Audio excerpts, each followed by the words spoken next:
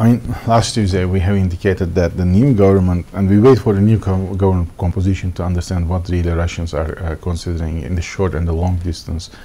And uh, also, we have not forgotten what President Putin has told us. And now, uh, under the combination of these two forces' statements, uh, we conclude that Russians are really concerned about the aging uh, workforce or aging problems of the Russian uh, community.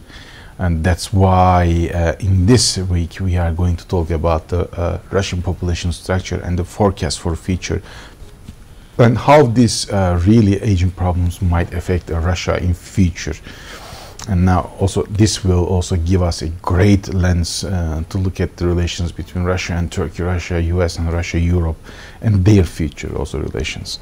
So let's start uh, the aging workforce uh, of Russians are getting uh, really in higher uh, in terms of average and uh, this is going to cause a big problem. So let's start.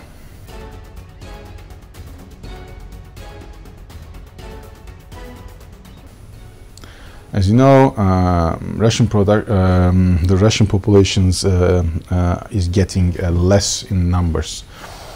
Uh, the Russian statistics, or uh, short form, is called Russostatat, has stated that they have projected the best and the medium and the low probability scenarios, and according to that, other than the best scenario, uh, they have taken all the aspects of the economy and the future uh, immigration numbers, the future birth and death rates, and they have discovered that uh, they might go down by 10 to 15 millions uh, down as of today uh, before 2035 to 2040s.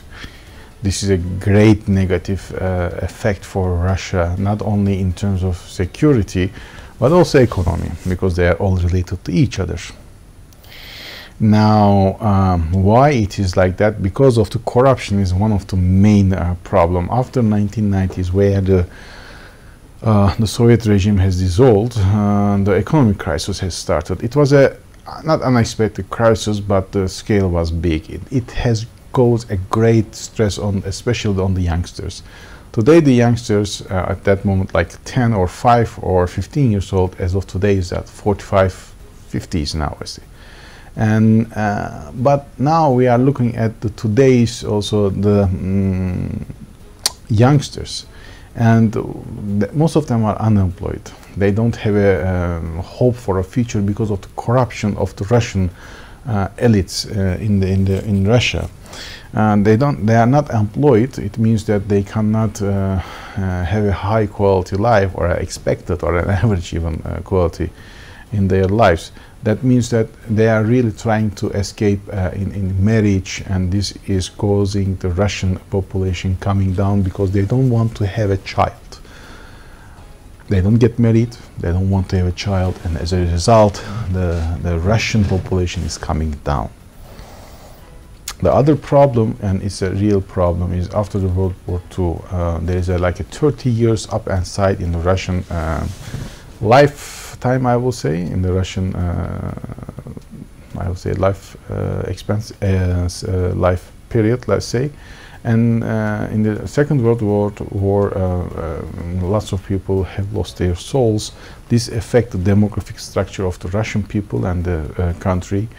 And now, after especially 70s, we have seen that there's ups and dips in each 20 to 30 years in the Russian uh, uh, state.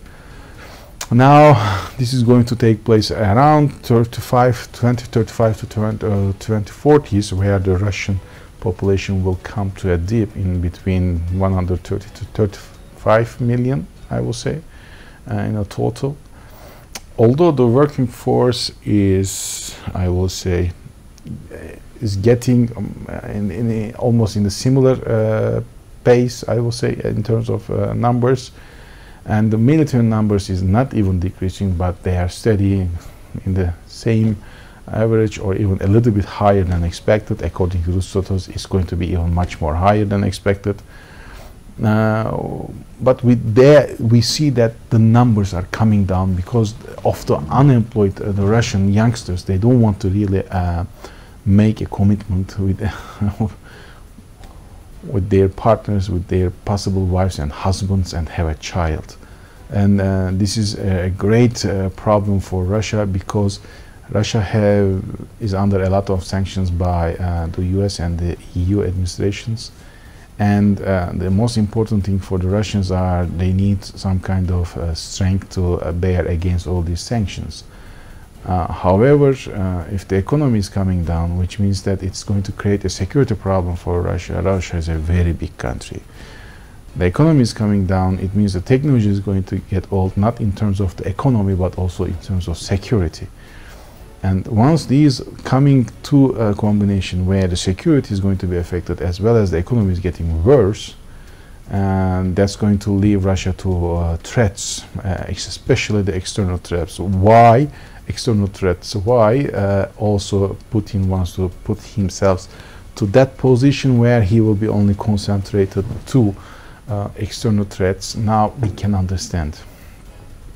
Um, is an important figure, as we said before, uh, and we believe that he is going to really uh, start an easing program, a monetary ease program in Russia. Why? Because in 2021, and there is going to be an election, and Putin knows that unless he wins the hearts of and the minds of the people, he may not be elected. That means Bolashevko has to start very quickly, act very quickly to start easing the monetary easing it's going to cause uh, in later uh, high inflation as you expected. the dollar and the ruble uh, uh, ratio is going to change greatly, but uh, it's not something that I mean. The Russians already decided it should be avoided.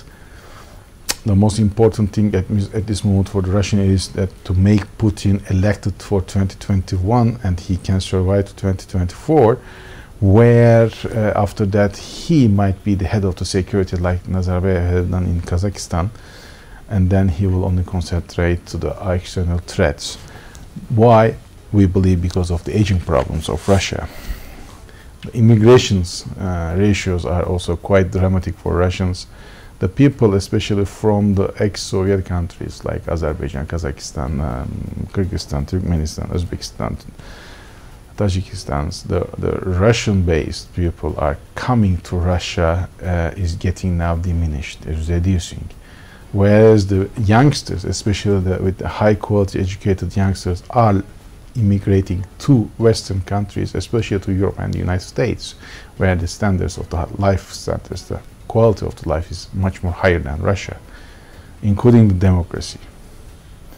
That's why uh, and also one more important aspect I forgot to say. In this year in 2019 the birth ratio is lower than the death ratio. That's all these things now coming with the bad economy and all these uh, immigration problems uh, the inwards are now less than the uh, onwards outwards uh, outgoing let's say uh, all these things are really causing a great concern to uh, Russian elites, and these are uh, all these should be uh, considered in a one under one, one basket.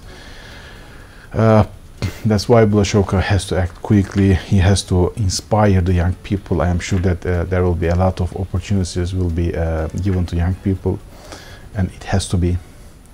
And we because of the uh, let's say in according to Russostat uh, in 2035 to 2040s now we are going to show it to you and the number between uh, or the ages between 25 to 35 40s are getting less than the others especially with the ones after 40 40s 45s uh, this is a great problem for Russia. Why? Because the pension funds should be paid by the ones who are going to be working if it is less than the ones who is going about that oh that's a great problem it means that even the educated people might or may not find great opportunities in Russia. So Russia should be also ready to um, accommodate uh, the foreign employees or the expats to work in Russia uh, if they want to also uh, stay in intact. So we are expecting from today before 2030s that there, there will be a lot of change in the regulations where Russia is going to, or try at least, attract a lot of foreign investors in features. Also, in that regard, uh, most people are thinking that the Russian and the Turkish relations and Turkey is mm, very much kind of giving to Russia. But in the long run, if you think all these negative aspects from the Russian sides, whatever they are doing is going is also going to protect uh, Russia from any kind of threat by Turkey. This is what they are believing. They are trying to build a feature with Turkey because they are aware that the Europe is not the real problem in terms of the security, but it might be Turkey for them in future. The number is getting higher, the technology advancement is getting um, really in higher, and Turkey starts to do all these military stuff by itself, at least to some level, if not to high techs, but they are getting there and in 10 to 15 years it will be much more even developed. So considering all these things in the long run or medium term like 10 to 20 years at most you will, you will now understand why also Russia needs to establish a good relation with Turkey. They bound to they need to in order to uh, ensure the security of the, uh, the southern uh, flank of Russia concerning the Black Sea let's say so uh, the really the uh, the decline that has haunted Russia for um, decades, we will likely to continue. I will say uh, for another maybe a couple of decades more to come, and uh, unless Russian elites really starts to do something good for their countries. If you like this video, there is a like button underneath the screen. Please uh, press on it and also uh, please subscribe to our channel so you will be the first one to hear and uh, watch. Thank you for watching and have a great day. Bye